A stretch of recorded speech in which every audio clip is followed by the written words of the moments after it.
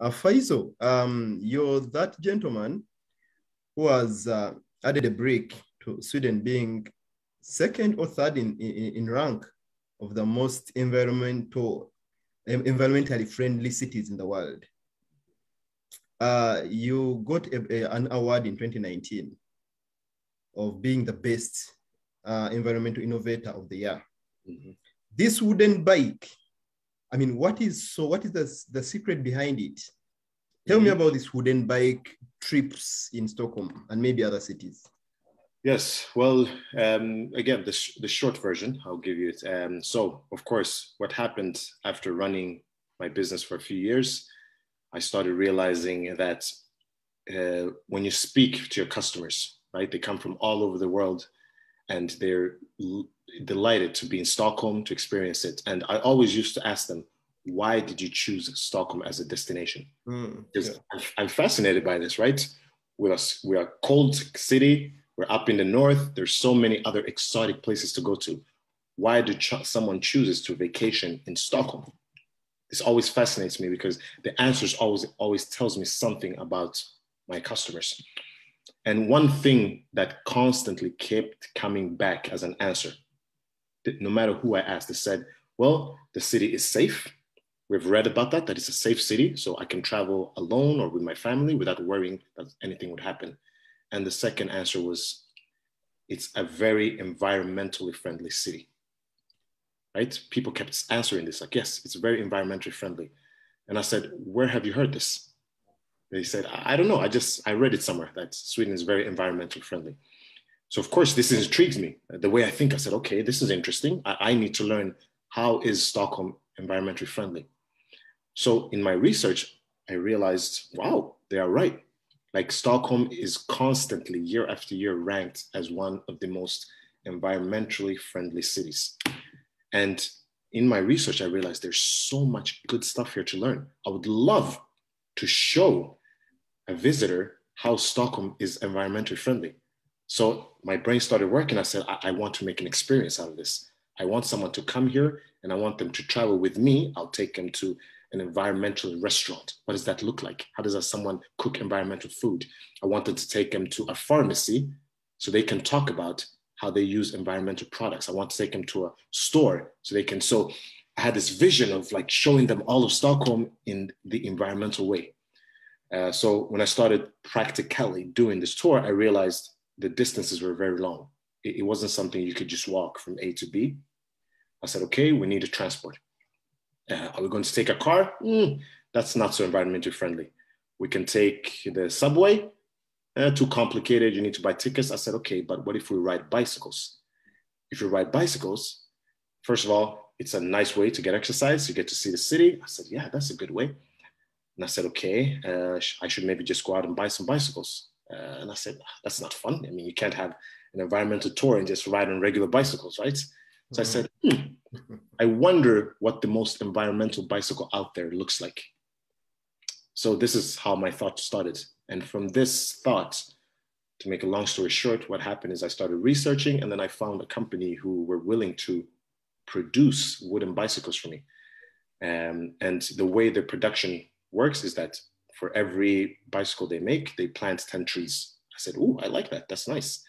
And of course, no one has ever seen a wooden bicycle. And so it's, you know, from nature to nature. So this is the way that journey started. So I started producing this wooden bicycles together with this company down in Greece. And we went into business together. We started producing these. Uh, and then that's how I started offering this environmental tour of Stockholm. And, and to my own surprise, it was an instant success.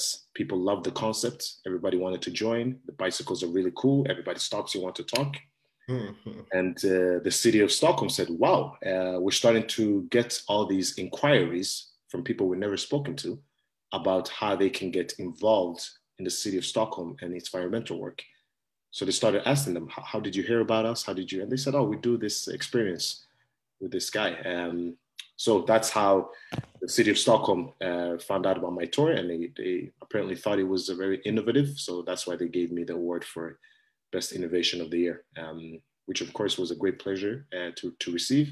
but also to go back to tie down to our first question. Um, that was one of the proud moments as a Ugandan to see myself on the front page saying, here is someone, because the reason why this was such a great moment, and, I, and I'll be completely honest with you and, and be frank, is the gentleman who gave me the award, older Swedish gentleman, comes up to me and he says, I'm very surprised by this. And you know the reason why? And don't take this the wrong way. He said, historically speaking, the way an immigrant journeys works is this. They come to Sweden, mm. they try so hard to be part of the society, right?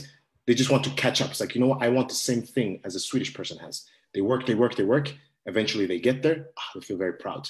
Once they get there, say, okay, now I want more. I want the luxury. And they work, they work, they work. And then they get to that point, and the first thing they usually buy maybe is a nice car, right? They want others to see them. I made it. And, and, and there's nothing wrong with this. We all been there, right? You buy a really nice car, maybe you buy some nice shoes, and you want to show, hey, I have arrived, right? So I'm listening to this gentleman. He says this. He's like, this is why when I read about this tour, in my mind, I thought, of course, it's going to be a Swedish person because they care about their own country and their environment. So imagine my surprise when I show up and it's an African. I said, why are you so concerned with the environment in a country that's only adapted you? Like I, I assume you, you know, you buy the big cars and the nice shoes, and of course, of course, you would do that too. But so his surprise in me being African was, I think, the most proudest moment because I showed them that okay, I know that your presumptions they're not false because historically let's be all real we know this is the truth. Like we can even go to our own countries. We say oh Oman no yo. Mm. Right? This is truth. So it's rarely that we give ourselves the room to pay back to something like the environment so for me to get the award for that reason alone was so worth it to show us that yes we've now thankfully and hopefully evolved to a point where we we can make it and then we can be comfortable enough to start giving back either to the environment or to our own communities or mm-hmm. to the wider sense that is just outside of ourselves mm-hmm. and that's why that award is the proudest one i've got and the reason it looked better. so i didn't take it the wrong way because i said yeah you're, you're not wrong in your assessment we've all seen that um, yes uh